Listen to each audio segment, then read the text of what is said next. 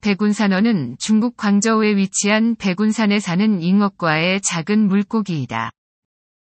같은 악과에 속하는 제브라 다니오와 유사하며 제브라 다니오처럼 수족관에서 관상용으로 기른다. 백운산어는 1930년에 보이스카우트 리더인 당이라는 사람에 의해 처음 발견되었다. 그래서 중국어 이름인 당어와 속명인 타닉시스는 탄 위 물고기라는 뜻으로 붙여졌으며 종명인 알포누부스는 백운 산어의 백운을 뜻한다.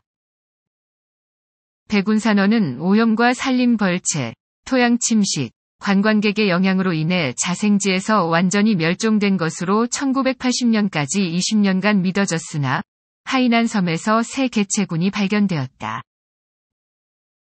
백운산어는 가까운 관계인 제브라다니오처럼 초보자 입문용 물고기로 좋으며 어린 아이들에게 추천된다.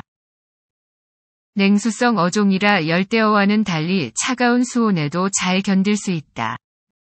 새로 여과되는 어항의 이상적인 starter fish로 거래되기도 한다. 번식시키는 난이도도 초보자 난이도인데 brine shrimp나 물벼룩과 같은 생먹이를 먹이면서 산란할 수 있는 자와모스나 수세미뭉치 같은 구조물을 함께 배치해주면 알을 낳을 것이다. 백운산어는 알을 식생 위에 자유롭게 흩뿌린다. 일반적으로 백운산어는 자기 자식들을 먹지 않기 때문에 산란 후에 부모 백운산어들을 따로 빼내에 격리하지 않아도 된다. 알은 48에서 60시간 있으면 부화한다.